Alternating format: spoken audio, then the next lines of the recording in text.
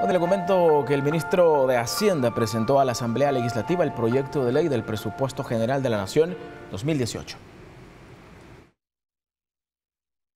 Fundamentado en la realidad económica del país y dando prioridad al desarrollo social con énfasis en los más pobres, el ministro de Hacienda Carlos Cáceres presentó a la Asamblea Legislativa el proyecto de ley de presupuesto general de la Nación para el ejercicio fiscal 2018, que asciende a 5.520.5 millones de dólares, es decir, 562 millones más que el de este año, debido a compromisos del Estado como el pago de la deuda previsional, los pagos al ITFA, el subsidio de energía eléctrica y el presupuesto extraordinario para las elecciones legislativas y municipales.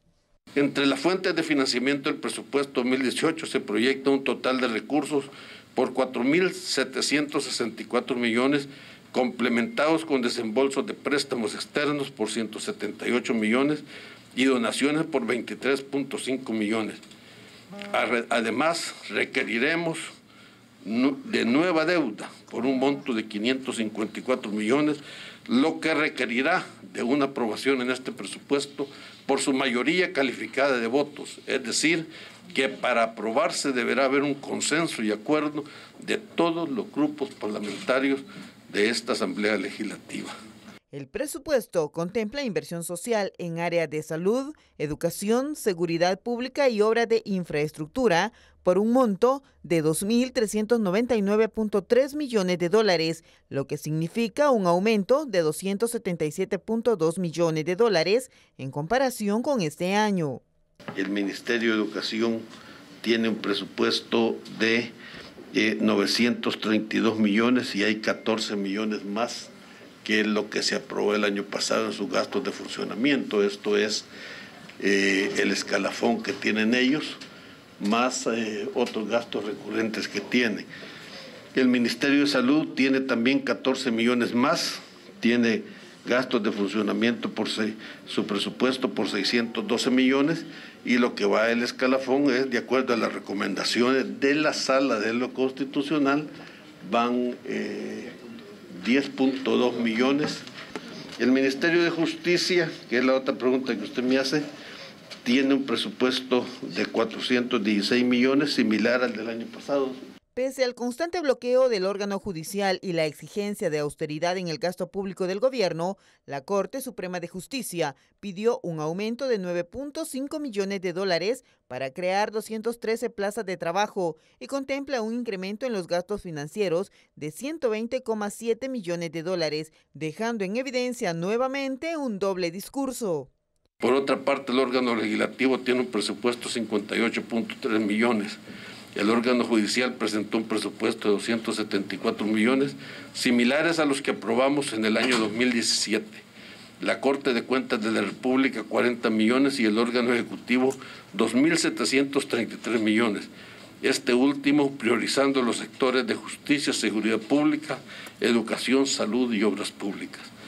El proyecto presentado a la Junta Directiva del Congreso incluye recortes en los fondos destinados al Ejecutivo, que baja cerca de 200 millones de dólares como parte de la austeridad impulsada por el presidente Salvador Sánchez Serén y en respuesta a la crisis fiscal que enfrenta el país. El día miércoles que tengamos plenaria ingresará formalmente y será pues destinado a la Comisión de Hacienda. Agradezco el acompañamiento de los miembros de la comisión, de Norma Guevara, Donato Baquerano, licenciado Francisco Merino, de Mario Ponce.